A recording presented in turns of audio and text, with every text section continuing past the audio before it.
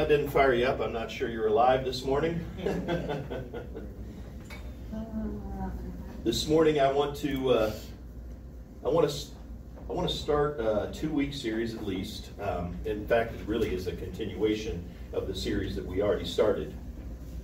We've been talking about, you know, basically having a better year, and I want to sort of throw out the premise of this message, which is this: if we are going to have a better year in 2021, and we can.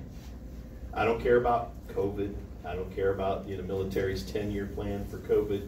I don't care about the government's two-year plan for COVID. I don't care about any of that. I don't know. I don't care if we have masks or if we have bubble wrap suit jumpsuits or if we have you know complete space suits. We can have a better year in 2021, and I believe there's one thing that's going to make that happen, and that is prayer. It's not because we are going to do something better. It's not because we are going to get better. It's that we have to get on our knees and begin to fight the battle that has been raging for years and years and years. I believe that if we want to have a, better 2021, we need to, to begin to use our war rooms and we need to pray. We need to pray for those things that, that we need. We need to pray for those things that our family needs. We need to pray for the things that our church needs. We need to pray for the salvation of the people in our community, in Pickerington, in Reynoldsburg, in Columbus, in Lancaster, in Newark, in Hilliard, and all around, and even in our world. We need to pray. The fact is, is that God, for whatever reason, God's chosen to allow us to determine what he does sometimes. And that is done by two things faith and prayer. He said, It's because of your faith that will happen. And the Bible clearly says, If you ask not, you will have not. He says, You don't, you don't have what you need often because you just aren't asking for it. And, you know, face it, God could do anything He wants, right? He could fix all of our problems without us ever having to ask, right? He could. Let's just kind of, you know, agree with that. Do you agree with that? God could fix every problem. He could make everything perfect. He could make our lives run so smoothly, but then what would we do? We would typically we would typically ignore it. Because when things are running well, we typically kind of go on cruise control, right? You know, I don't have to work quite as hard. I can, you know, sit in front of the TV and relax a little more. You know, I don't need to press into God because there's no reason for me to do that. Now, that's wrong, but we do that sometimes. You know, we tend to do that even with our spouse in our family relationships. Sometimes when things are going well, you know, we tend to put all of our relationships on cruise control. That's how divorce happens. Because we put our relationship on cruise control, we focus on other things, and before you know it, our marriage relationship is crud and we separate. And so the same thing tends to happen with God. Now, He's always pressing in, but He's a gentleman. And He doesn't push himself on us. And so we have to press into him. And this this whole message, if you don't get anything else out of the, the next, you know, several minutes that we talk, I hope that you will get this. Is that if you will pray more from this day forward, if you will pray more for your family, if you will pray more for the community, if you will pray more for your church, if you will pray more for your needs and the needs of our country, if you pray for our president, regardless of who he is and whether you uh, believe in his abilities or not, doesn't matter. Democrat, Republican, Libertarian, Independent, doesn't matter. The fact is, is whoever's in power is in power, and the Bible says we are supposed to pray for our leaders. And if we will do that, we will have a better 2021. We will have. We will. Do you understand what I'm saying here? It's not that everything is going to go perfectly, but the first thing that's going to happen is as we pray more and commune more and connect more, our lives are going to get better, period. Do you understand? Because God is, He is the, the fix for everything.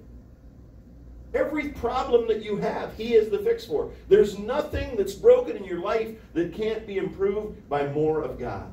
He fixes everything. And so, therefore, our life is going to get better just having been on our knees. But in addition, God is going to answer prayers. And we're going to see victories where we didn't see victories before. And we're going to see motivation in areas that we didn't have it before. And we're going to see Him as we commune and we connect with Him. He is going to bring us in and line us up with His purpose. Because you see, prayer isn't just about asking for things, prayer is communication. We shouldn't even we shouldn't even call it prayer. We should just call it talking with God.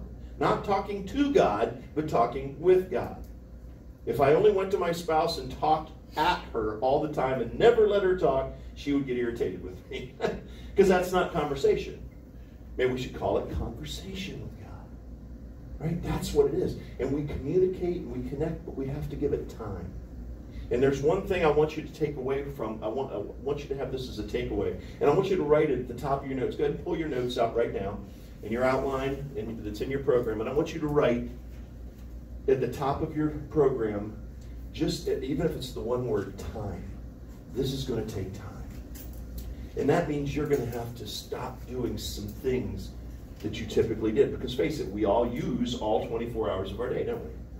And if you haven't been praying a lot up to this point, something's going to have to go. You can't just add, you know, the 25 the 25 hour day isn't going to come around anytime soon. So something's going to have to go. It for some of us it might just be a little TV time. For some of us it might be, you know, a little computer time or Facebook time or Twitter time or whatever it is that you do with your time. For some of us, it's more serious. Maybe you'll have to give up a bowling league or whatever. For some of you, it might be, I have to work a little less. It might even be for some of us, we have to spend a little less time with our families. But face it, if we don't prioritize prayer, we're not going to see that increase. Prayer takes time, it's a relationship. That's why, you know, all the time we go out, we see these bumper stickers and t shirts that says Christianity. It's a relationship, not a religion. The problem is, is we acknowledge that, but we don't put the time into the relationship. And therefore our relationships are weak. And so realize that over the next couple weeks as we talk about prayer, what I'm challenging you is, is to give up some of these other things that maybe some of the things that are more frivolous and aren't really helping you and start spending some time make that sacrifice of time and give it to the lord and grow your relationship and see what happens. It's going to take time, and it's going to take one other thing, and that's faith. Because without faith, you're not going to do it. If you don't believe that God is going to answer, if you don't believe He's going to make your year better, if somehow I can't get this across to you and He doesn't get it across to you through me this morning and next week, you are not going to do it because you're not going to see any value. If we don't see value in something, we just tend to not do it. But when we see that there's value, we see that there could be, you know, but that, again, that's going to take a little faith. When we see the possibilities, we say, you know what? I'm going to do this. But, you know, starting something new, it's kind of like exercising or dieting, right? You know, have you ever like decided you were going to go on a diet and you've been eating like you know pizza and spaghetti and all those good things that you like and cheeseburgers and I'm trying to hit a smattering so maybe I'll hit some of you here, all of you hopefully. But you know, things that make your mouth water. You've been eating all those things, and all of a sudden you think, man, I gotta lose some weight. Probably ought to go on a diet. But if you don't really see value in that, if you don't really want to lose that weight or get in better shape, whatever, what are you going to do? It's not going to go very well. You might diet for a day or two, then you're going to cheat a little bit and a little more, and before you know it, you're not dieting anymore or exercise. I remember back in the 1980s when I was in the military, I decided I wanted to run the London Marathon. And I didn't know how I was going to do this because I was in the Army. I didn't know how I was going to come up with the time. So I went to my first sergeant and I said, Would it be okay if, since I want to run the London Marathon, it's going to take a lot of time for me to run because I'm going to have to run about nine, ten miles a day? and I don't have really time to do that because we're always going to the field. I, you know, our, my my particular MOS took a lot of my time, and so could I get out of PT, which is you know physical training, the, the, where we all, where they all in cadence exercise one two three, and they do you know kind of silly things that don't even really do anything. I said, could I skip that if I will commit to running every day? He's like, man, I've never had anybody ask that. And theoretically, I shouldn't say yes, but he said, I'm going to trust you on this one. And then I even said, you know, hey, if, I, if somebody wants to run for me one day, would it be okay? Yeah, if you want to take somebody with you, that's fine. Until I find out that you're cheating. Let me tell you something. Hardest thing I ever did because I had to start training in January. As you can see, now in Germany, it was much worse. For whatever reason, uh, the climate that we were in, it almost always snowed. I mean, it was snowing all the time. And what, the first day that I ran, there was almost two feet of snow on the ground. And it was cold. And when I got back, I looked some, I mean, my shoes and, and were just soaked. My socks were soaked. I had long icicles. I wore one of those pile caps to cover my mouth because it was burning my lungs and all you could see was, you know, whatever. And I had icicles coming down off of the bottom and off my nose. It was crazy. But let me tell you something. I had to really want to do that, to put in that kind of sacrifice. And then to get up early. If anybody knows me well, I am not a morning person. I hate mornings. They should be illegal. I, I, you know, if I was president, we would not have mornings. Mornings would be outlawed. We wouldn't get up till noon. I don't like mornings, and I hated them even more back then when I was young because I just tended to want to stay up all night. And so getting up at 5 o'clock every morning to go out in the freezing cold and run through snow took a lot. But I did it because I saw value and I wanted the results. That's what we've got to want. We've got to want the results this morning. Well, we're not going to do it. So I want to start in this message by talking a little bit about why is prayer so important. In your notes, why is prayer so important? Number one, because prayer is commanded in God's Word. You say, well, why does that good? You know, why does that motivate me? Well, we should really understand that God says if you are a Christian, if you truly want, uh, you know, want to have a relationship with me, it is a requirement. You have to pray. The Bible says that we cannot please God if we don't pray. In fact, it, it tells us that if we, if, if we love him, we will be obedient to him. He commands us to pray. In Philippians 4, 6, and 7, he says, Don't worry about anything. Instead, what? Pray about everything. He doesn't say, Here's an alternative. If you decide you shouldn't, you know, you don't want to worry anymore, you could go ahead and pray. No, no, it is a command. He says, Don't worry. Instead, pray. Pray about everything. Tell God what you need and thank Him for all He has done. Then you, will, then you will experience God's peace, which exceeds anything we can understand. His peace will guard your hearts and minds as you live in Christ Jesus. In 1 Thessalonians 5 16 through 18, he gives us a little bit of an idea of his will for our life. And what does he say? Always be joyful. You know, that's a command, by the way. Just a little side note. He tells us to be joyful. You know why? Because joy is a choice. We can choose to be depressed. We can choose to be anxious. We can choose to be mad. And we can also choose to have joy. He says, always be joyful. Never stop praying. Now, it doesn't even say, you know, pray for 15 minutes a day. Never stop. Pray without ceasing. What does that mean? That means constantly being in communion with God being in a prayerful attitude and mode all day long. Be thankful in all circumstances. So he gives us three things always be joyful, never stop praying, be thankful in all circumstances. And then he says, For this is God's will for you who belong to Christ Jesus. You want to know what God's will for you? Well, there's three things right there be joyful, no anxiety, no depression, no fear. Be joyful. Never stop praying. Pray all the time. And number three, be thankful in all circumstances. So it's commanded. Number two, prayer is mod, uh, modeled by Jesus. Think about this. Jesus, God's Son, who was very God, in fact, who was, uh, who was completely God and completely human. John first, uh, John chapter one tells us that nothing was formed without Jesus' hands. He was the creator. He was the component of the Holy Trinity that created everything. And he felt the need to pray. And the Bible says in Luke chapter 5, verse 16, Jesus often withdrew to the wilderness for prayer. He got away from everything and he prayed with his to his father. Now, if Jesus needed to pray, how much more do we need to pray? It isn't. It, it, it, it's it's a need.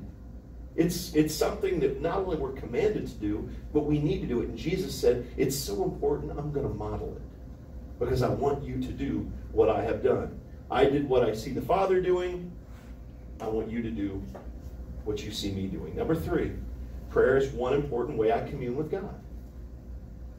If, if I'm not praying every day, then I can't really say that I'm communing with God. And if I am not communing, what do I mean by communing?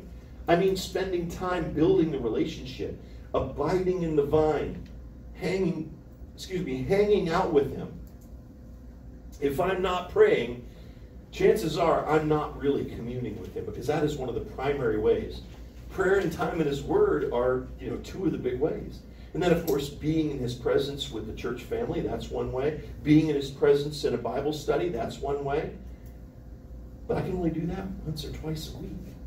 If I'm going to commune with God, prayer is like one of the main ways. And John 15, 4 through 7 says, Remain in me, and I, remain, I will remain in you. For a branch cannot produce fruit if it's severed from the vine, and you cannot be fruitful unless you remain in me. Yes, I am the vine, you are the branches. Those who remain in me and I in them will produce much fruit. For apart from me, you can do nothing.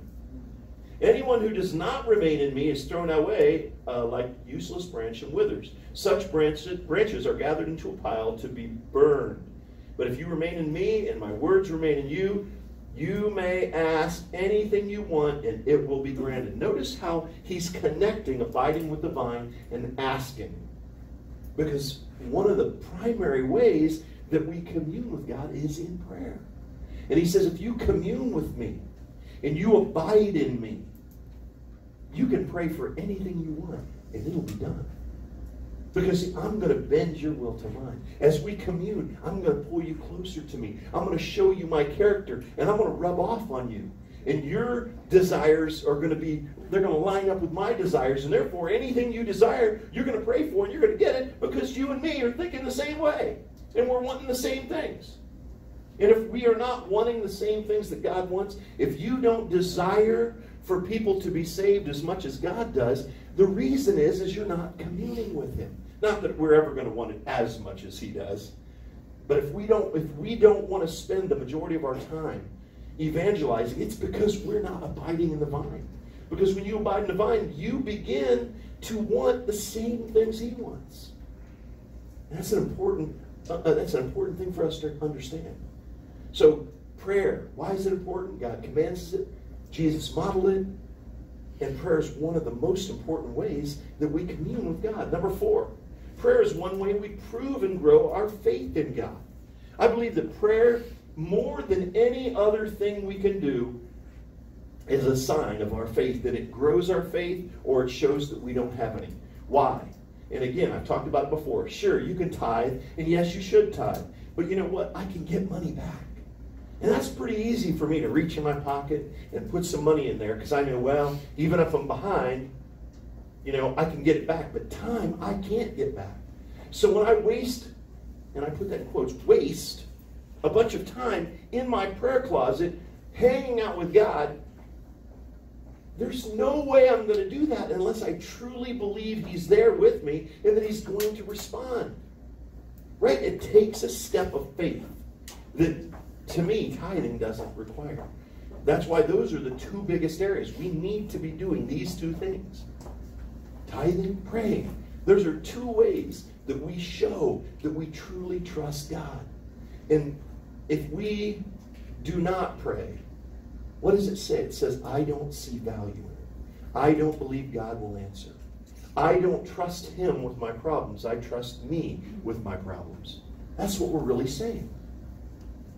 I'd rather take care of my own life than to trust Him.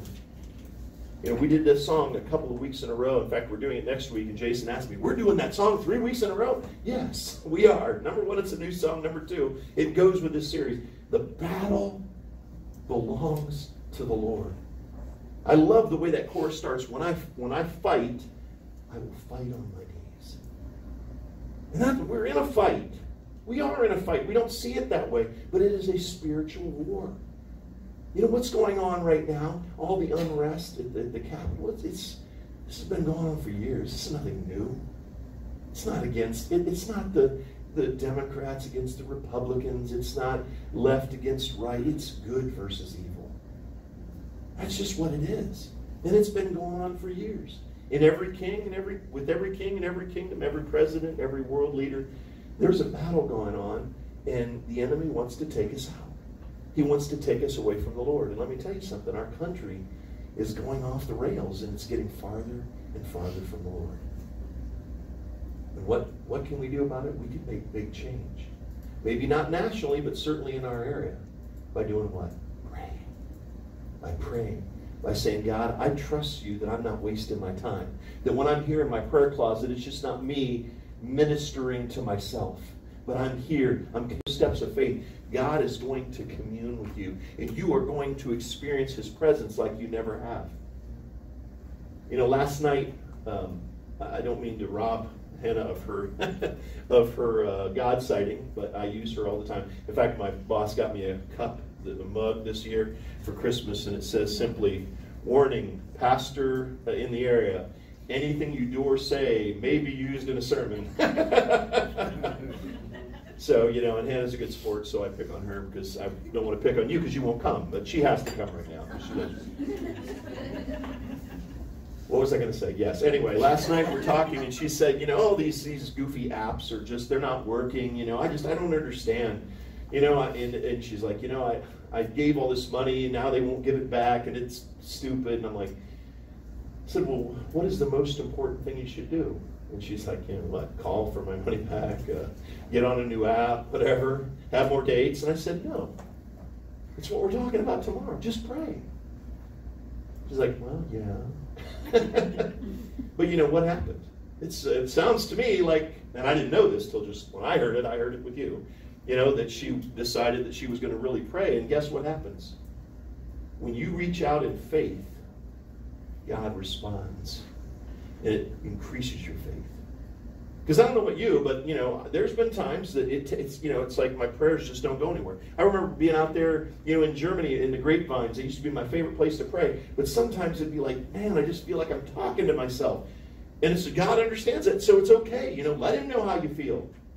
And you know what? It was then during those times that I just kept pressing in and pressing in, and before you know it, God would speak to me in such a radical way. I remember there was a couple of weeks that I was just really frustrated and I'm like, God, I just, I want this, I want that, you know, whatever. In fact, a lot of it was revolved around a girl. Imagine that. You know, a buddy of mine and I were kind of fighting over this girl, and we both didn't want to date military girls, you know, because there, there was like a whole stigma. We just didn't want to do that at the time. And now this girl comes in, and she's got this cute voice, and she's cute, and she was a Christian. And that's almost unheard of, you know. In our era, we didn't know any Christian women in the military. And so my buddy started going out with her first, and I was like, yeah. But then it didn't work out. Hmm. I'm like, ooh, I still got my chance. So I started to go out with her. I'm like, yeah. But during that time that he was going out, I was praying to God. You know, God, I, you know, I don't want to be mean. You know, and I, I want my friend to be happy too. And you know, but at the same time, God, why? And I wasn't hearing God.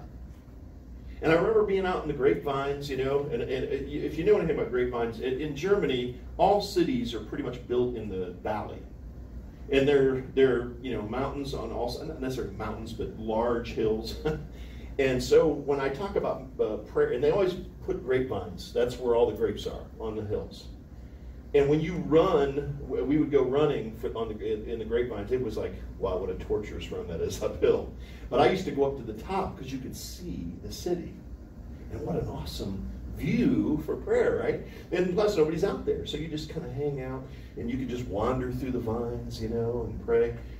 And I felt like I was abiding in the vine, right? No, but I'm, shh. okay, oh, you guys are You guys are awake. Anyway, so, uh, you know, here I am in the vine, and yes, exactly. I'm in the vines, I'm praying, and I just felt like, you know, God, why aren't you talking back? Why is it that I don't feel you talking? And you know what? I started dating this gal, and I'm, I remember being in uh, my, uh, you know, in my rig, my, you know, where I did my business there in the military was the back. It was called a van that sits on the back of your truck and held my communication gear in there. And I'm in there, and God spoke to me so clearly. I've never felt him uh, speak to me at that point so clearly. And he said, I don't want you to go out with this girl. And I'm like, Are you serious? All this asking and wanting you to speak to me, and this is what you have to say to me? But you know, the beauty was, I didn't like what he had to say, but what I did like is the fact that it was him, and I knew it was him.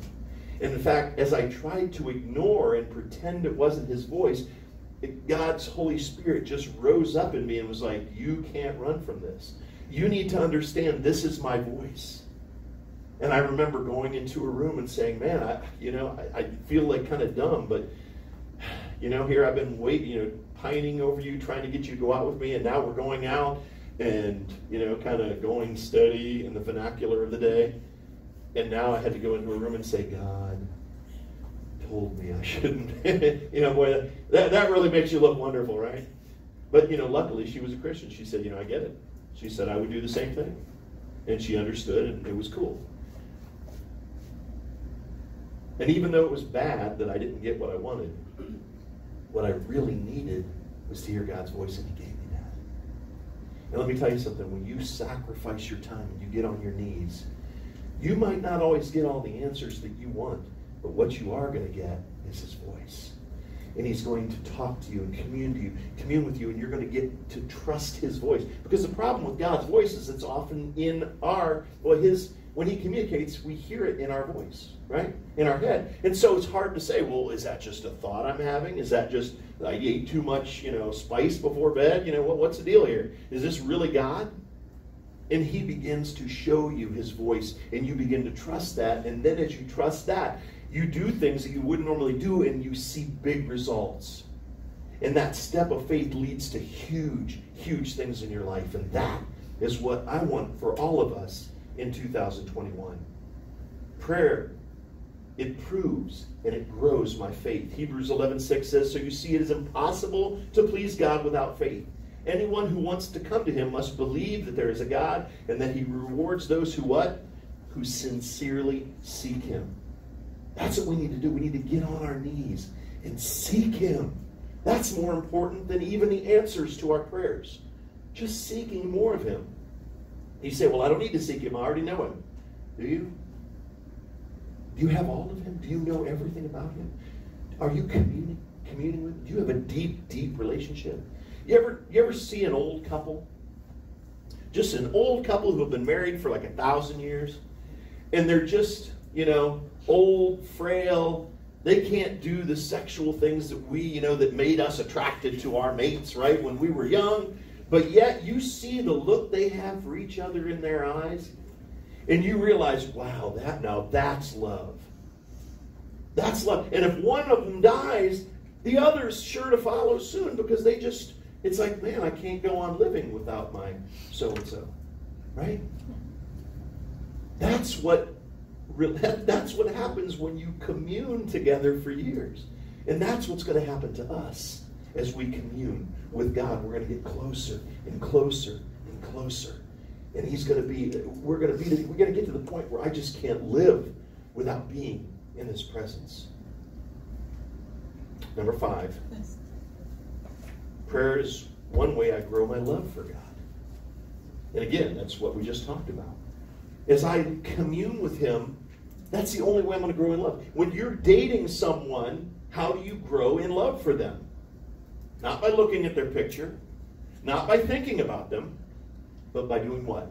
Hanging out with them, communicating, sharing your heart. They share their heart. You get to know them, they get to know you. You develop a bond and you commune and you, you develop an emotional attachment, a spiritual attachment. That's how we grow our love for one another. Yet sometimes we just come here and we learn about God.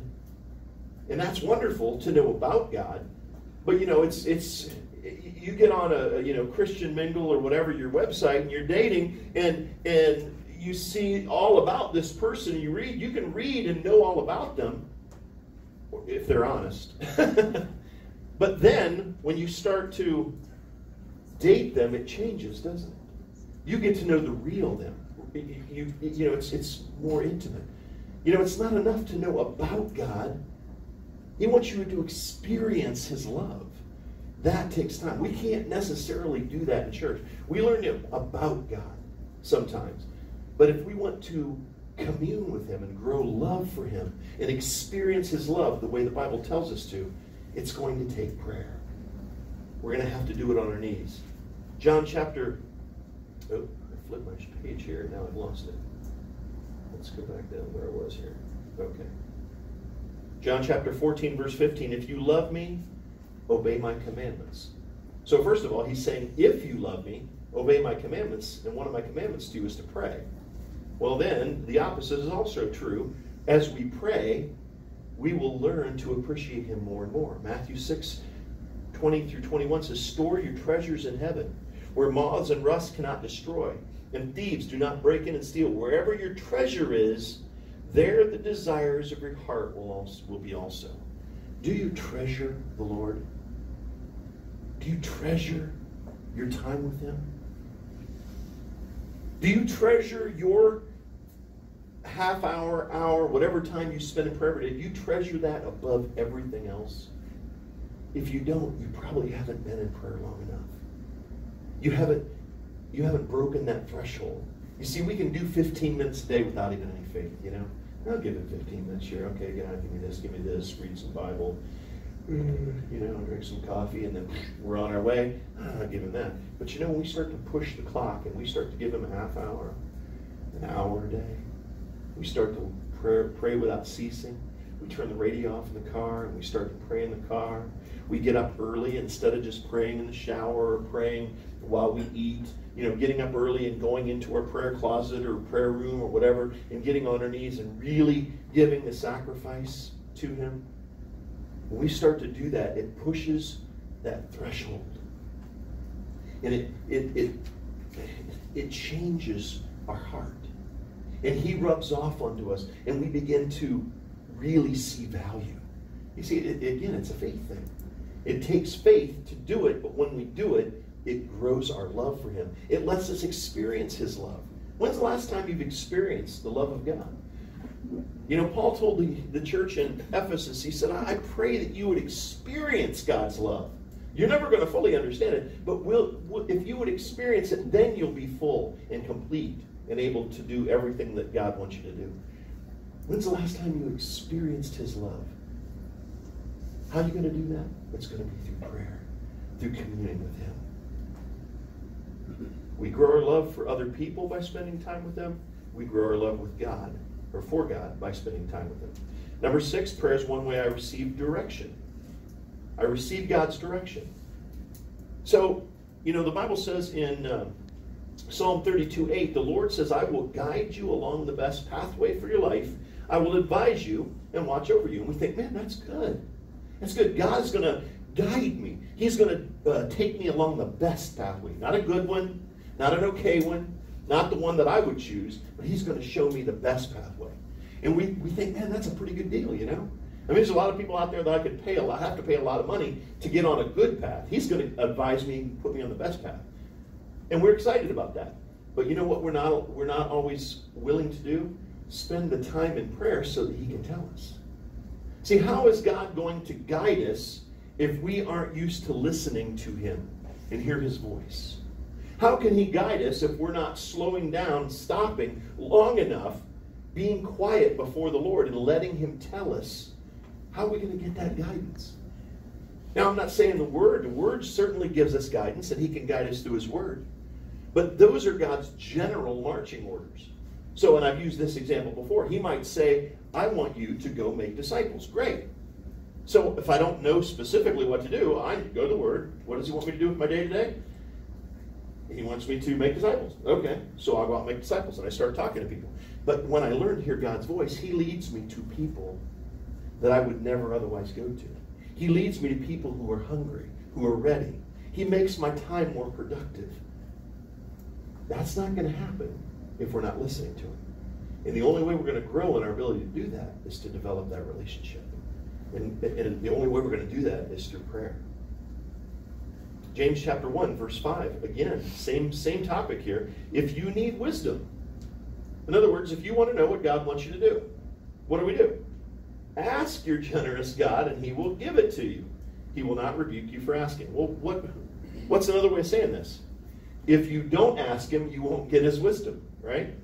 You have not because you ask not. That's what he's saying here. So he's saying, if you want wisdom, if you want my guidance, if you want to know what the best pathway is for your life, you got to ask. And then you got to shut up long enough so I can tell you. And you got to give me time to do that. Number seven, keep flipping my screen. Prayer is one way I build and maintain proper perspective. The fact is, is that we are prideful people, and Satan loves to instigate our pride, doesn't he? One of the biggest ways, because what is one of the biggest sins of Satan? Pride. It's one of the biggest ones. It's what got him kicked out of heaven. Pride. I don't need to do it your way. I'm powerful. I'm, I'm good on my own. It's how he appealed to Eve. Hey, you eat this fruit? It's not only delicious, but you will be like God, knowing good and evil. Ooh, like God. I like the sound of that. You see, he's always, he loves to work on our pride. I don't need God. I don't need anybody. I can do this on my own. I can pull myself up by my own bootstraps. I can make this happen. And you know, when we are prideful, we are not getting anything from God. God, God rewards those who are humble, who know their need for Him. In fact, the Bible says, blessed are those who are poor in spirit, those who recognize their need for God. That's how we see power in our life. When we pray, God aligns our perspective, and we understand that He is God and that we can't do it without Him. He also gives us perspective that with Him, we can do it, that there's nothing that can defeat us if He wants us to win.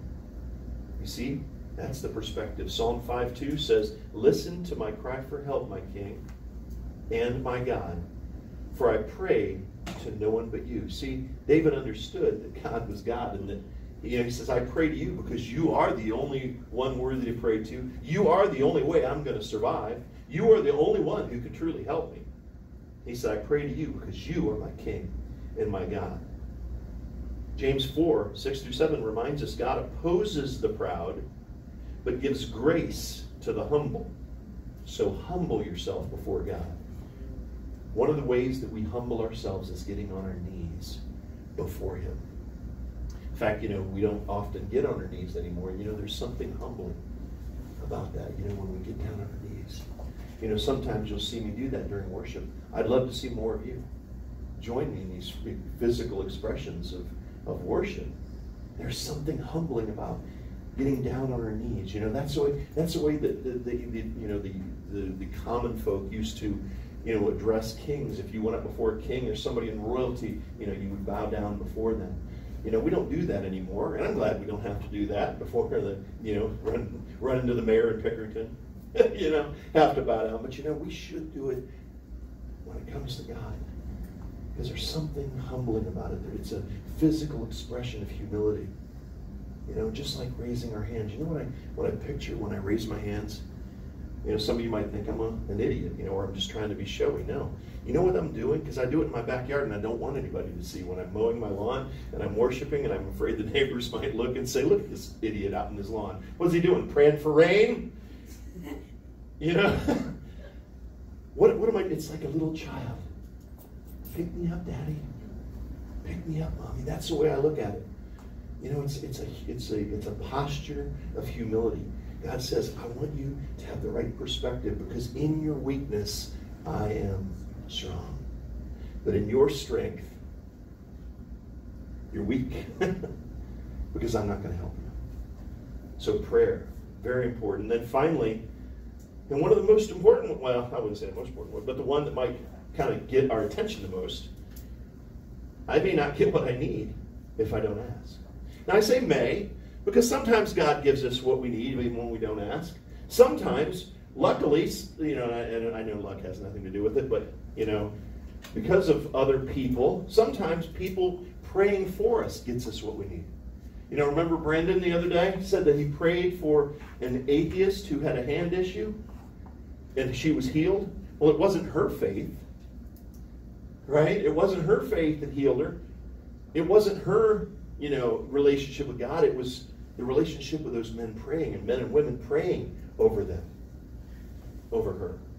And so we need to understand sometimes we get good things just because it happens, okay? Because we are blessed because of other people, we're blessed because people are praying for us. There's all kinds of reasons. You know, even atheists sometimes have good things happen in his life. But I may not get what I want if I don't ask. The Bible tells us that. James 4 2 comes right out and says, Yet you don't have what you want because what? Because you don't ask God for it. So, you know, sometimes God just says, you know what, I'm not giving you what you want until you pray. There's been many times in my life where I have worked and worked and slaved, and it wasn't until I got down on my knees and prayed that God did something about it. I told you that a few, maybe it was last week, week before, about the time when I was, you know, had this issue at work. I just, it was racking my brain. I was spending weeks trying to go, you know, solve this problem. And it wasn't until I broke down and prayed when God reminded me, He said, You know, you've been blowing me off on this whole issue. Why don't you pray about it? But you don't care about this stuff. What? I don't what? I'm like, okay, I guess you do care. And I prayed, and before I entered the building that morning, I had the answer. God gave it to me. It didn't come. It didn't come until I asked. And there's a lot of things. You know, I, I you know, you've heard the story of uh, you know the guy who who dies and he goes to heaven and he sees all these warehouses just everywhere in heaven. He's like, what are those warehouses? Peter says, come here, I'll show you. And they go over to a warehouse and they look inside and there's all these wonderful things. Just new houses, you know, just new cars, better job. I don't know how's a job, but you know, this is this is a story, right? So basically all these things. And there's just where and he says, What are these things? He said, These are prayers that never got prayed. These are God's blessing that He wanted to give out, but people didn't ask. In fact, I think the way the story goes that uh, he went over to one of them, there was a tag on that said, Never ask for. I think that's how the story goes. You know, and I just feel like there's so many things that we don't have because we don't ask. Hannah asked me last night, she goes, But I prayed. And I said, Yeah, but have you prayed persistently? You see, God said, I don't want you to just pray once. In fact, if we just pray once for something, what does that tell you? You must not want it very much, do you? If it ain't, if it's not more important than that, why would God ever waste His time? You know, I, have said, I've told this before, but I'll, I'll reiterate for you. You've heard this. I'm sorry, but you know, when you when it's Christmas time, and your kids, you know, young kids especially, especially when I was a kid, there was we had these cal- uh, catalogs. They don't have those anymore. Now it's all online. But we had like the, what the Sears catalog, the Montgomery Ward's catalog, and the J.C. Penney catalog. All three of those we had, and they were about that thick. And we used to sit there and look at something, and we'd circle and we'd write down all the things we wanted. And it just, you know, we'd go to mom and dad, you know, I want this, I want this, I want this, I want this, I want this. Well, you know what? As a parent, you realize, number one, you can't buy all those things. It's not good for them, and you don't have the money to get them all that stuff. So what do you do? How do you find out what they really want? You wait and see how many times they ask for different things. Over time, what they're going to do, they're not going to ask for all those things. They're going to hone in on the things they really want. And they're going to keep asking for those things. And it's going to keep coming up in conversation. And now you know what to get them. And you know what? I think sometimes God's the same way. He's like, you know, they're asking for stuff all the time and they ask for it one time. I don't think they really want that. And so I'm going to wait and see what's really important to them. And so I told her, I said, I think you should pray about it until you get an answer. And if that's 360 times, 360, if it's two, three, four years, and you pray for it every day, it'll be worth it, wouldn't it? Absolutely. So pray persistently. But here's what I do know if we don't ask, we're probably not going to get it. All right. So why should I pray? Well, because prayer is commanded in God's Word. It was modeled by Jesus. It's one of the most important ways I commune with God.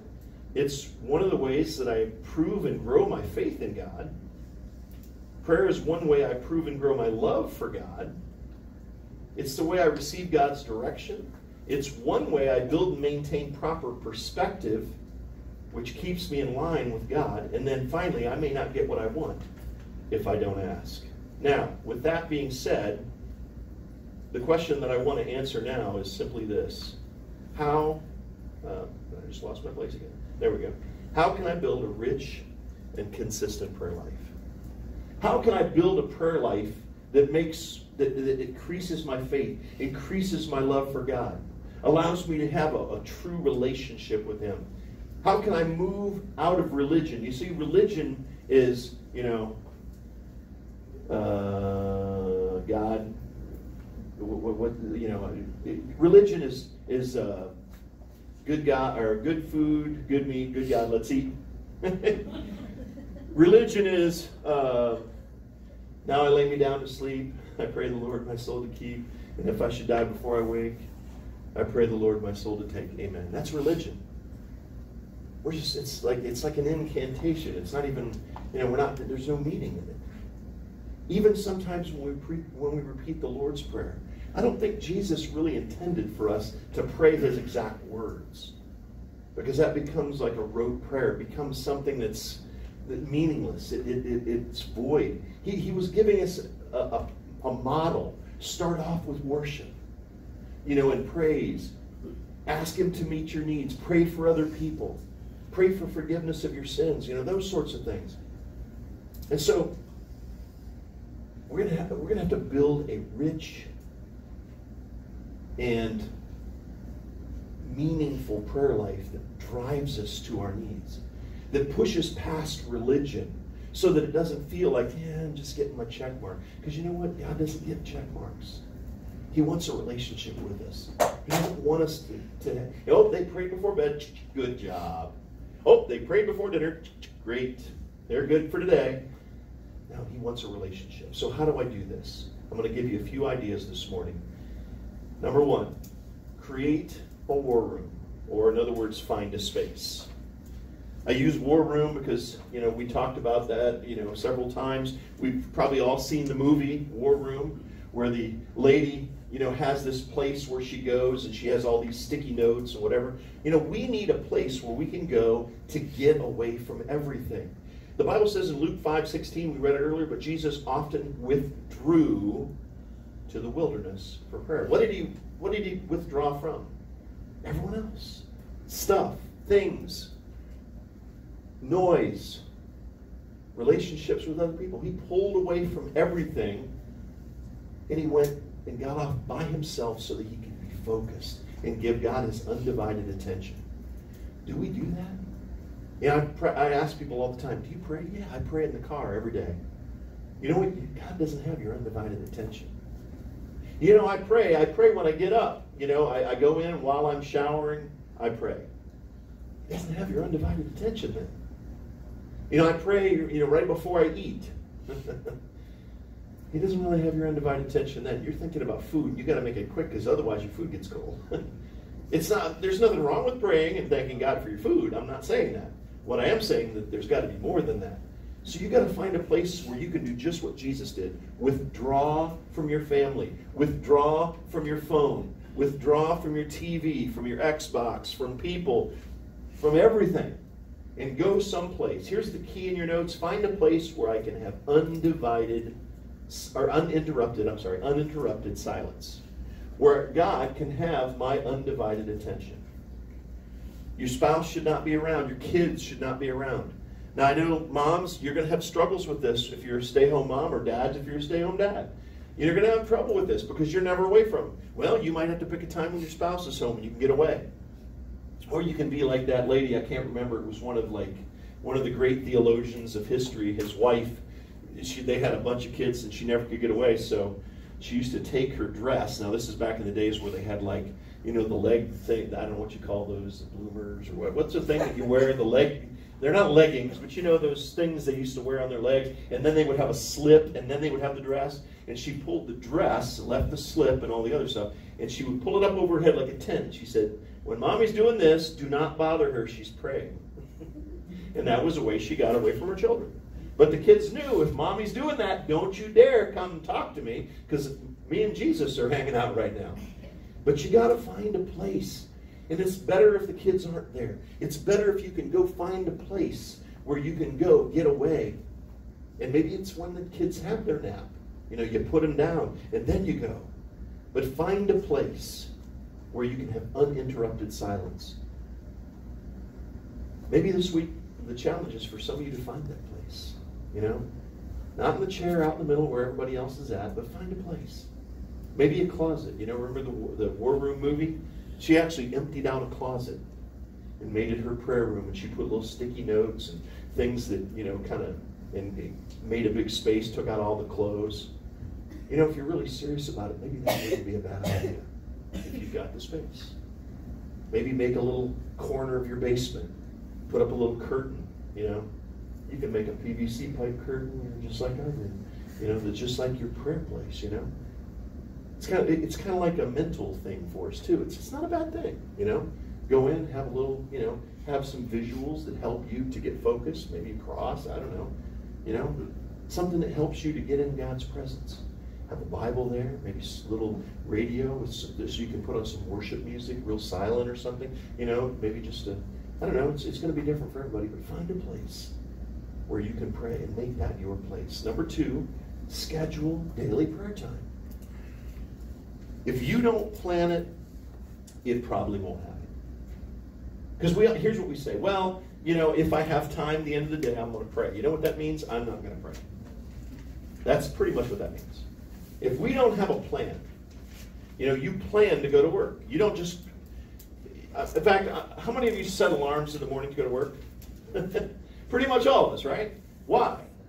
Because we plan to go to work. No, most of us just don't leave our alarms off and say, well, if I wake up and I feel like it, I'll, I'll go ahead and go on into work. No, they kind of require us to do that, right? So if you plan to go to work, why wouldn't you plan to have time with the Lord? What's more important? Giving time to your boss or spending time in God's presence? I think spending time in God's presence is the most important thing we do every day. Why isn't it in our schedule? Why isn't it in our planner? We put other things in our planner that are very, very much not. Oh, I'm saying that wrong. Uh, that are not nearly as important. That's what I wanted to say. The Bible says this in Ephesians 5. So be careful how you live. I mean, we, you can do a whole sermon on that, right? Be careful how you live. Don't live like fools, but those who are wise. Make the most of every opportunity in these evil days. Don't act thoughtlessly, but understand what the Lord wants you to do. What does the Lord want you to do? Pray. He wants you to be on your knees in prayer. You have to schedule it. Scheduling it means that it won't it won't get knocked off because of, I mean I'm not saying that sometimes there's not emergencies. Hey, if there's an emergency, you might not go to work, right? Even though it's on your schedule. If there's an emergency, you might, you know, change everything. But for the most part, we tend to do what we have scheduled. Why don't we schedule time? That way we know it's going to happen. You know, from 8 to 9 in the morning, before I do anything, I'm going to spend time with God. For some of you, it's going to be uglier. From 5 to 6 in the morning, I'm going to spend time with God. It's going to stink getting up early. If you're like me, ugh. but I think God's worth it. And I know some of you say, well, maybe I'll pray in the evening. Hey, if that's the what you have to do, then do it. But I would I would venture to say it's really important to get it at least sometime in the morning because it gets your head together. You know, I don't get dressed at the end of the day. I don't fix my hair at the end of the day. I do it at the beginning of the day to prepare to go into the world. Don't I need to pray to get ready to enter the world? Sometimes we come to church and we don't hear from God. We don't connect with Him and we leave thinking, man, that was a waste. Why do you suppose that happens sometimes? Is because the services are no good? Probably not. I don't care where you go. Because if I if you go someplace intended to hear from God, you know what I believe? You're gonna hear from God. Doesn't matter what the person's saying. It doesn't matter if I'm having an off day. God never has an off day. And you can hear from him. In fact, the most important things I'm saying, but the things that God is speaking to you directly about that I don't even know about. Because he's God, he can do that. And so, uh, I got off track again. Where was I headed with that? Schedule. Why was that? What was I talking about before that? Somebody back me up. Anybody? Well, that's not exactly what I was at, but that'll work. go, when in doubt, go right back to the main point. The fact is, is if we don't schedule it, it's probably not going to happen. And we need to schedule that time, and we need to be consistent with it as much as we can. Number three, maintain a prayer list and prayer journal. This is vital. This is vital. You say, well, there's no place in the Bible that says you need to have a prayer list. You are right. There is no place in the Bible that says I need a prayer list. There's no place where I need to that says I need to journal. But here's what the Bible does say. It says that I need to pray for all people everywhere. It says that I need to remember what God has done. How am I going to do that? I was thinking about this this morning when I was a kid. When I was a kid, when I was younger, I was a worship leader in the church that sits right across the street, Sycamore. And I remember uh, writing a song on the piano. I don't really play piano, but I, you know, I mean, I can if I, you know, learn. I used to play in a band when I was real young, and I used to play bass and keyboard. I thought it was Geddy Lee from Rush. You know, I'd be like, and I go to a chorus and I do this, you know, and I'd play bass notes along with it and stuff. And uh, anyway, but I, I wrote this song that I called Hannah's song. And I was just thinking this morning, I don't know what made me think of it, but I realized I don't remember that. I literally don't remember. And I played it. In fact, I used to play it um, when uh, when uh, this, the uh, if anybody was speaking besides me, whenever we got to the commitment time, I would always go back, and that's one of the songs that was my fallback song, and I would play it on the piano. And I was thinking, I don't remember it at all. I couldn't even think of how it went in my head. now, you say, well, you're getting old. Well, yeah, that's part of it. but you know, that's the way we tend to be, right? You, do you remember everything that you did in your childhood? No. Do you remember everything? Do you remember everything that you got for your for your for Christmas when you were five years old? I don't. I don't remember anything when I was five years old right now. I mean, you know, I have some early memories, but I don't remember everything. We tend to forget things, don't we? It's just part of part of life. But when I so but the Bible says we need to remember what God has done. How do we remember that? We write it down. And then we go back and we look at it. So let's look at why we should keep a prayer list and a prayer journal. Why? Number one, it helps me define what I want. The first thing is it helps me define what I want. Because sometimes I go to God and I'm like, you know, I don't really know what I want. And I just start babbling, you know, and I start using rote prayers and, you know, God, you know, thanks for the day. And, you know, and we try to think of how the pastor prays or how the Bible study leader prays, and we just start praying like them. And, you know, well, bless me, Lord. Really? What does that mean? You know? I mean, first of all, I want to know that God answers. How do I know that He answers if I'm just praying general things like God bless me, bless our family? Don't you want to pray a little more specifically? And you know what? That's what a prayer list does. It forces me to figure out what I want. And I'm reminded of a story in Mark chapter 10 where Jesus is, you know, he's gone around preaching, doing all this stuff. And uh, in verse 46, it says, Then they reached Jericho, and as Jesus and his disciples left town, a large crowd followed him. A blind beggar named Bartimaeus, son of Timaeus, or Timaeus, was sitting beside the road. When Bartimaeus heard that Jesus of Nazareth was nearby, he began to shout, Jesus, son of David, have mercy on me.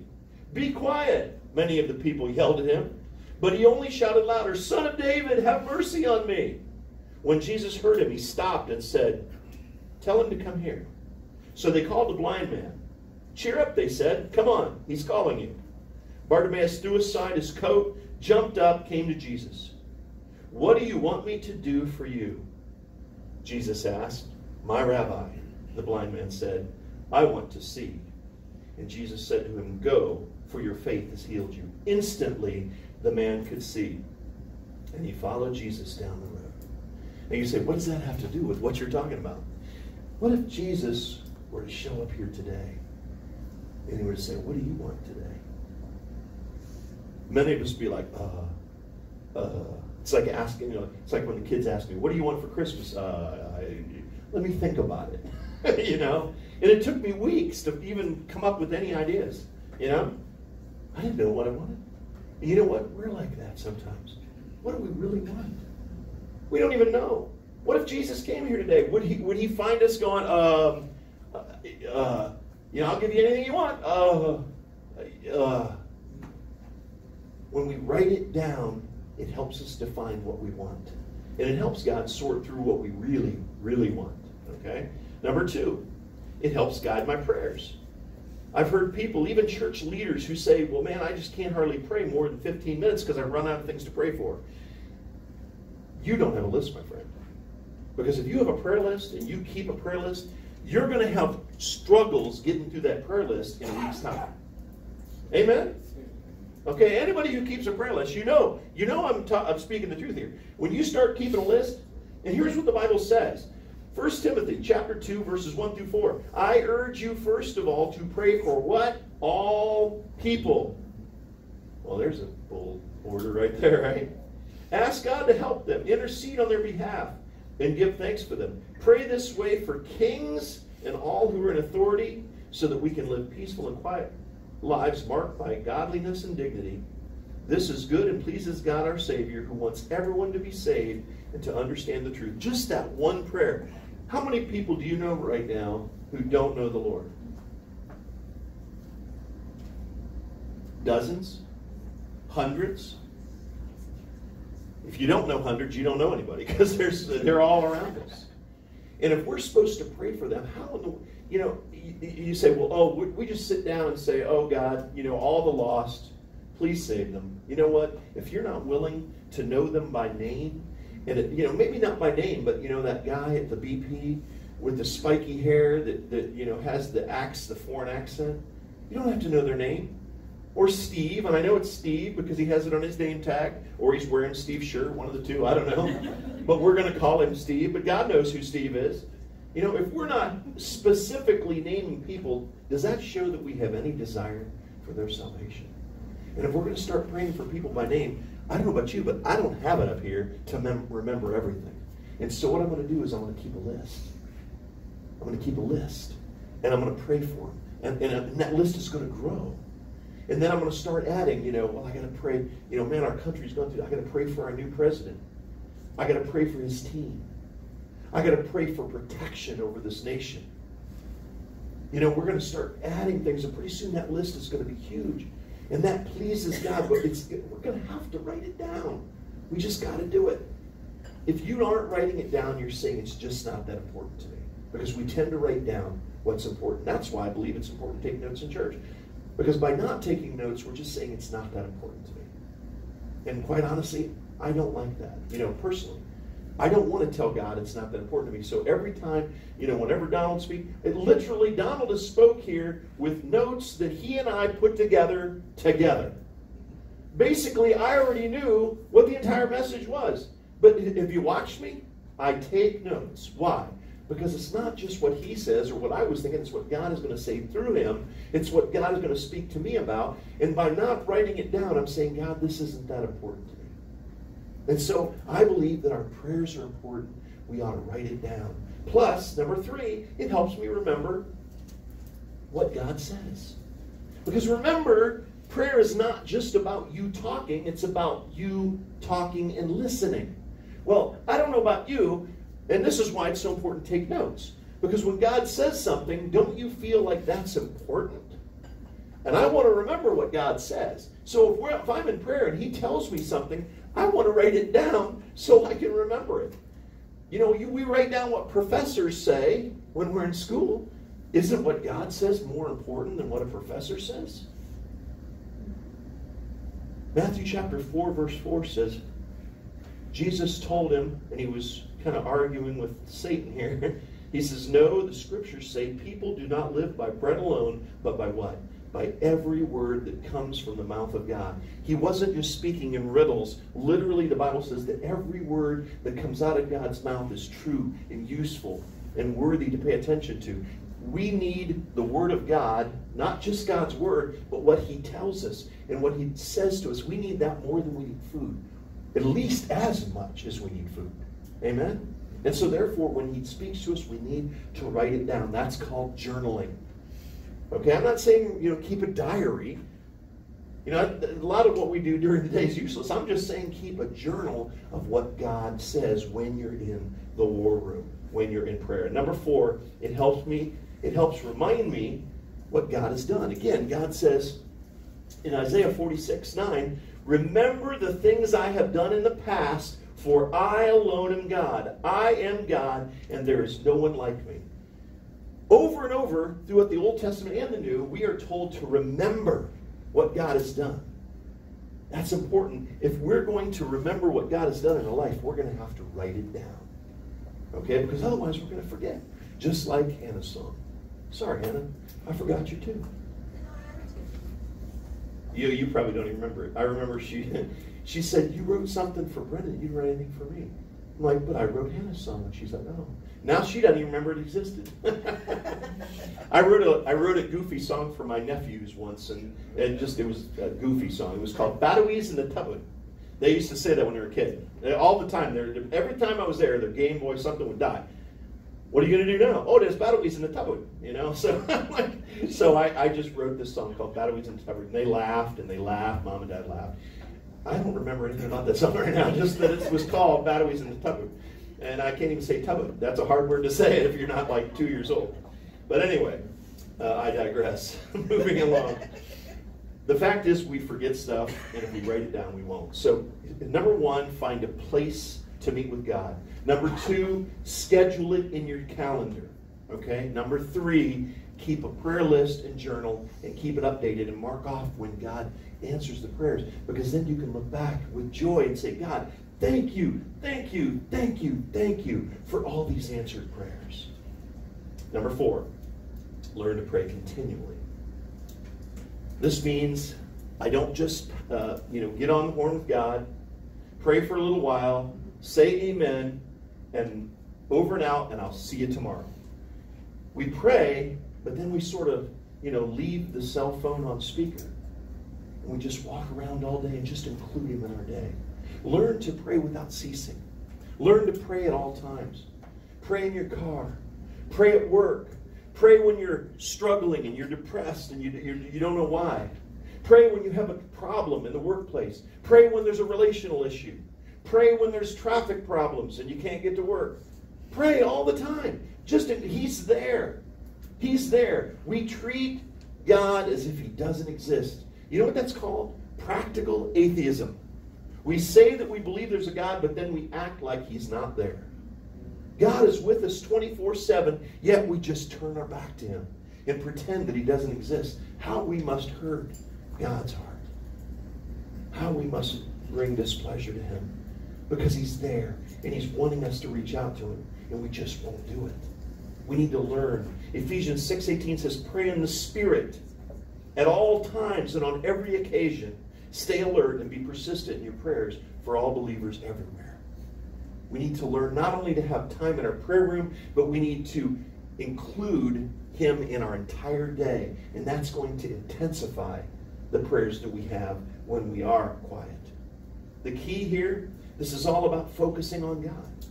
It's all about focus. You say, well, I can't focus on God and work at the same time. Yes, you can. You are far better than you think you are at multitasking. We do it all the time. We do, don't we? I mean, come on. Since the since the uh, invention of the smartphone, we have learned to do like three and four things at a time. We drive and we text. Shouldn't do it, but we do it. You know, if you don't believe that, just watch people on 270 tomorrow morning when you go to work. Just watch them, and you'll see. I saw a guy yesterday. We're driving home from Hilliard, and this guy's like had his head buried in his lap. I'm like, how are you even seeing to drive? I don't even get it. I mean, he was really down, and then he lifts up and he's got his phone in his hand. I'm like, oh my goodness, dude. You know, we I've seen kids almost walk into traffic. You know, they're downtown. Downtown's bad. You go downtown, there's sidewalk, and they're just going to this the sidewalk, and they just walk right out in the street and say, oh, oh, maybe I should have done that. We're so we we learn to do a lot of things. Tell, let me tell you something. You can live and connect with God at the same time. Okay? You can learn to pray without ceasing, but it means you focus on it. And you know, the fact is, we're supposed to do that anyway, right? Paul says one final thing think about those things.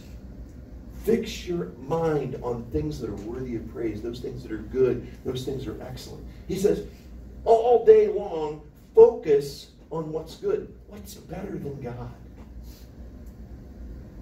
What's a better thing to focus on? It's about focus, focusing on Him throughout the day. It's going to change our life. But learn to pray continually. Number five, make repentance a part of my daily prayer life. One of the things that weakens our prayers is because we have mixed feelings. We have guilt. And it keeps us from, from praying. In 1 John 3 21 through 22 says, Dear friends, if we don't feel guilty, we can come to God with bold confidence. What is the opposite of that? If we are guilty, we will not come to God with bold confidence. What does that mean? Our faith is weak, right? So he says, if you don't feel guilty, you can come to God with bold confidence, and he will and we will receive from him whatever we ask because we obey him and do the things that please him. When there is sin in our life, when we have taken care of that sin, it hinders our prayer life. So if you want to have a rich and full prayer life, you need to make daily repentance part of the plan. Where you say, God, you, you, you pray like David, God, look into my heart and, and, and tell me if there's any wicked way in me.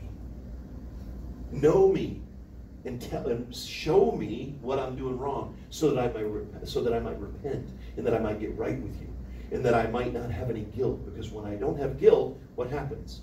I can pray boldly and what I ask will be answered. 1 John 1 9 says, If we confess our sins to him, he is faithful and just to forgive us and cleanse us from every wrong. We don't have to ever question that. He's going to do it. We just simply need to do it. So every day when we pray, don't just go to him and ask for things. Take some time to, to examine yourself and ask God, is there anything that's going on? If I treated somebody poorly, am I doing the wrong thing? Am I, you know, what is it? And then repent and turn and, and, and say, God, I will do what you've asked me to do. And it's going to open up, it's going to open up a new avenue of prayer and it's going to intensify your prayer life. Number six, don't just simply pray for my needs, but the needs of others. Make sure that you're focusing not just on you, but on your family, on your church on the people in your community, on the country. Pray for things not just for you, but for others. First Timothy, again, we read this earlier. Chapter 2, verse 1 I urge you first to pray for all people. Ask God to help them, intercede on their behalf, and give thanks for them. Pray this way for kings and all who are in authority so that we can live peaceful and quiet lives marked by goodness, uh, godliness, rather, and dignity. This is good and pleases God our Savior, who wants everyone to be saved and understand the truth. So pray for other people. Here's the key focus on my kingdom building efforts. Focus on kingdom building efforts. We sometimes just want to pray for what brings us pleasure. Okay? But the Bible says in James 4 2 through 3, yet you don't have what you want because you don't ask God for it. And even when you ask, you don't get it because your motives are all wrong. You want only what will give you pleasure. Sometimes we just want what will make our life better. What about other people? What about kingdom work? What about changing lives? What about making new disciples? That's where we are. The Bible says, seek first the kingdom of God. That's the next prayer, or the next uh, uh, verse. Seek first his kingdom, Matthew 6 22 says, and his righteousness, and all these things will be given to you. God says, don't worry about what you're going to eat. Don't worry about all these things that we typically pray for. Yes, it's better to, to pray than worry, but you know, let's get your mind off that and seek first the kingdom of God. That means we ought to be praying for the advancement of his kingdom, for people to be saved, for the growth of your church, for the other people in your church, for their ministry gifts to be used in a major way. We need to pray those kind of prayers. And again, uh, when we abide in the vine, I'm going to read the scripture again, but John 15, remember it said, if you abide in the vine, you'll get what you want in prayer. Why? Because as we abide in the vine, we commune with Him. God aligns our heart with His. And if we find that our prayers are all about me, me, me, me, me, me, me, you haven't aligned your heart yet. You're not abiding in the vine. Start abiding in the vine, and pretty soon you're going to find that you know you're not praying about what you're eating and where you're living and what clothes you're going to wear and all that good stuff and your job. And you know what? You're going to be praying for for His kingdom and for His kingdom come. You're going to be praying for people's lives who are hanging in the balance. When you see your prayers move in that direction, you know you've been abiding in the vine. And finally, number seven, thank God when He answers. One of the most important parts of prayer that we often ignore is just the thanksgiving.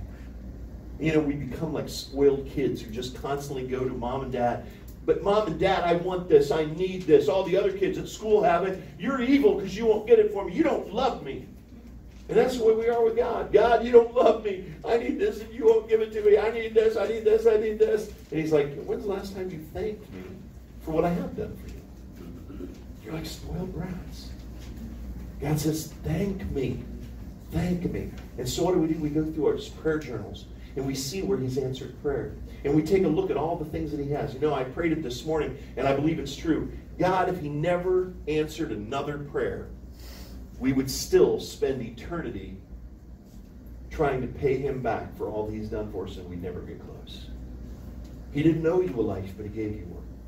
He didn't know you to be in the most wealthy nation in the world, but he planted you here. He didn't owe you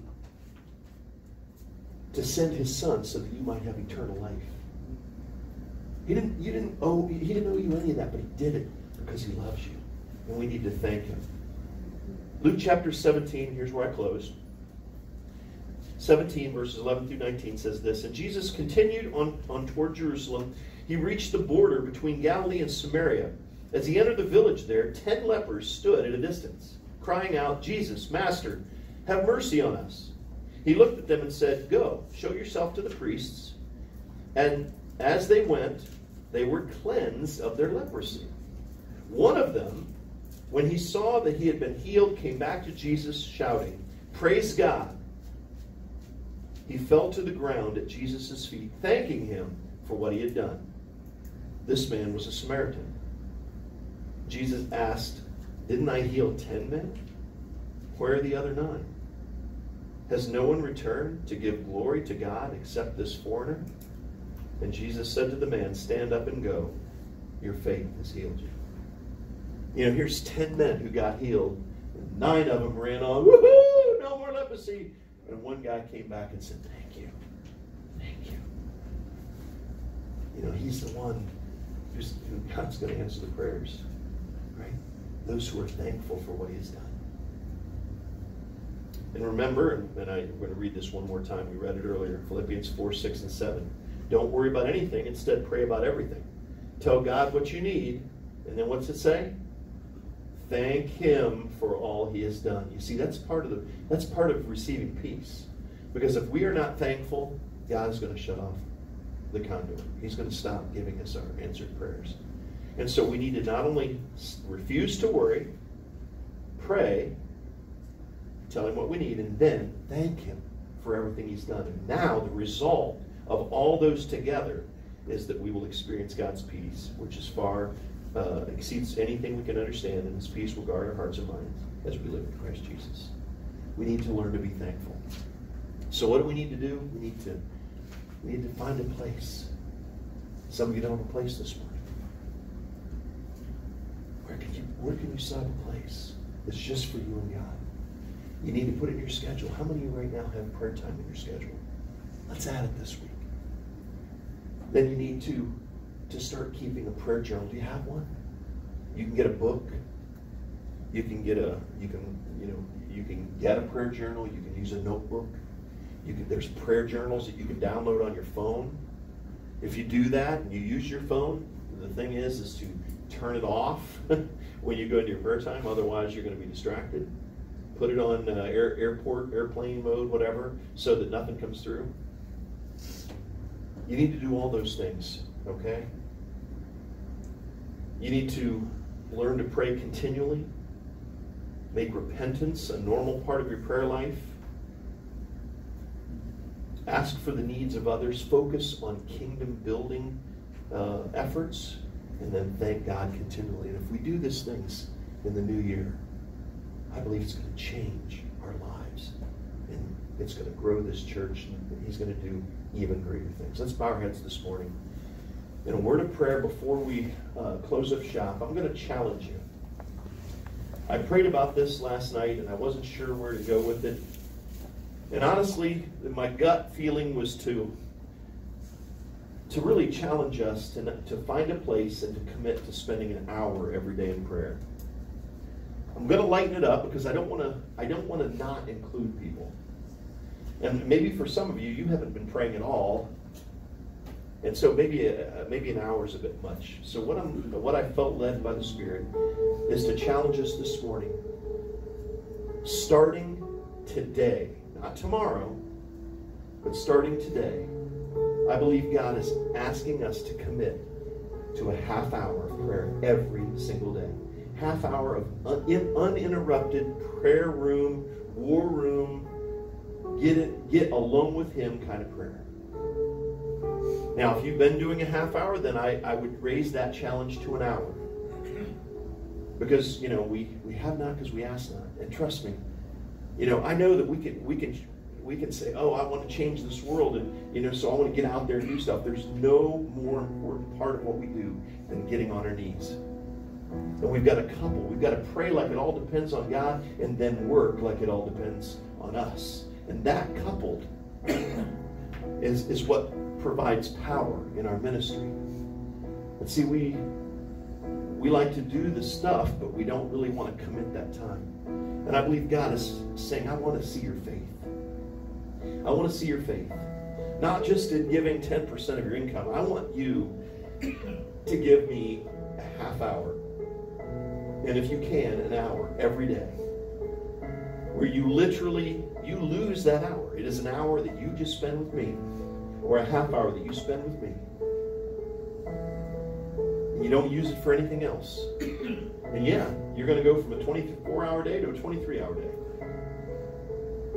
But I believe the rewards are going to be tremendous. But that's the kind of faith we need to have. Right now, are you willing to commit? Will you say, I do, Lord? Lord, I'm going to find a place, I'm going to schedule it, and I'm going to spend a half hour every day with you moving forward. And I'm going to, in faith, wait and see what you do. If you're willing to do that, I want you to say yes to him right now, but also because I want to pray for you. Because I know the enemy is going to do everything in his power to try to stop that. I want you to write on your communication card this morning, I will. I will. In fact, if you if you're just committing to half hour, I want you to just put, you know, one half. If you're already there one half and you're committing to an hour, I want to pray for you too. And I want you to just put one hour. But one way or the other, we've got to we, we got to we've got to start breaking. We got to just start breaking down some barriers. There's a lot of barriers out there. We've got to start asking God for everything we need. We've got to start pushing our faith, growing our love for Him, and taking, pulling away from religion and moving to a relationship. Because that's what God desires strongly. See, we like religion because it's quick and easy. We go in, we do a couple Hail Marys, we, you know, we uh, cross our hearts and we bow down on our knees and we take communion, and then the rest of the week's ours. That's religion. God says, I want a relationship. And that takes time. Show me that you want a relationship. Right now, I'm going to give you a few minutes to say yes to God. And then I want you to mark it on your communication cards, and then I'm going to close this up